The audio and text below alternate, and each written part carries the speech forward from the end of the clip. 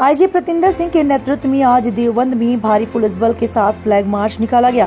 Flag march, जुम्मे की नमाज़ को लेकर लोगों में सुरक्षा का भरोसा देने के साथ ही असामाजिक तत्व को साफ़ संदेश देना है कि अगर कोई भी अप्रिय घटना करने का प्रयास किया तो पुलिस उनके साथ सख्ती के साथ निभाएगी। कल जुम्मे की नमाज़ को लेकर पुलिस प्रशासन अलर्ट मोड पर नज़र आ रहा है। लगातार लोगों से संवाद किया जा रहा है। शांति समिति की बैठक आयोजित की जा रही है। इसके मद्देनजर आज देवबंद कोतवाली परिसर में व्यापारियों की व नगर के गणमान्य लोगों की एक बैठक आयोजित की, जिसमें उन्हें निर्देश दिया कि शहर में शांति व्यवस्था कायम करने में पुलिस प्रशासन का सहयोग करें। किसी भी अफवाह पर ध्यान न दें और ऐसे लोगों के बारे में सूचना दें जो गड़बड़ी करने का प्रयास कर सकते हैं।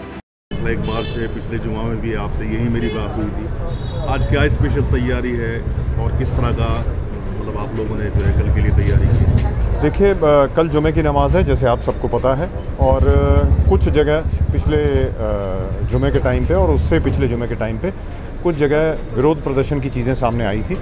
हमारी सभी जो हमारे स्टेक होल्डर्स हैं, सभी जो यहाँ के मोज़ लोग हैं, उन सबसे और जितने भी हमारे मदरसों के लोग हैं, और वैसे भी जितने व्यापारी लोग हैं, सबसे हमारी लंबी लंबी मीटिंग्स हुई हैं। सबने हमें बहुत आश्वस्त किया है कि कोई ऐसी चीज़ यहाँ पे इस बार नहीं होगी। लेकिन एक पूरी जनता के मन में एक सुरक्षा की भावना इंश्योर करने के लिए ये हमारा आज रूट मार्च है।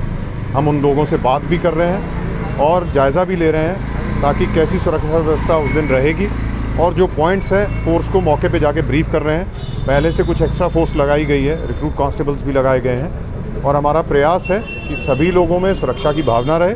और जो वांछनीय तत्व हैं, जिनके मन में किसी तरह की अभी भी आशंका, इतनी मीटिंग करने के बाद भी, इतना संवाद स्थापित करने के बाद भी तो उनको एक मैसेज भी देना चाहते हैं कि कोई भी इस तरह की लॉ एंड ऑर्डर को अपने हाथ में लेने का प्रयास ना करें। सभी लोग जाएँ, मस्जिदों में जाएँ, इबादत करें, वापस लौटें।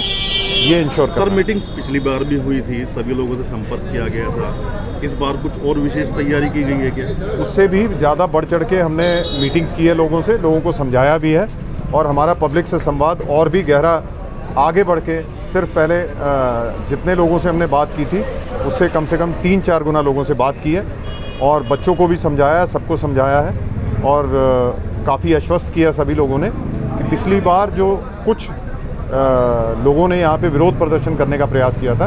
उनकी इमीडिएट गिरफ्तारी करके उनके खिलाफ कार्रवाई भी की गई थी। इस बार हमारे पास एक्स्ट्रा फोर्स भी है।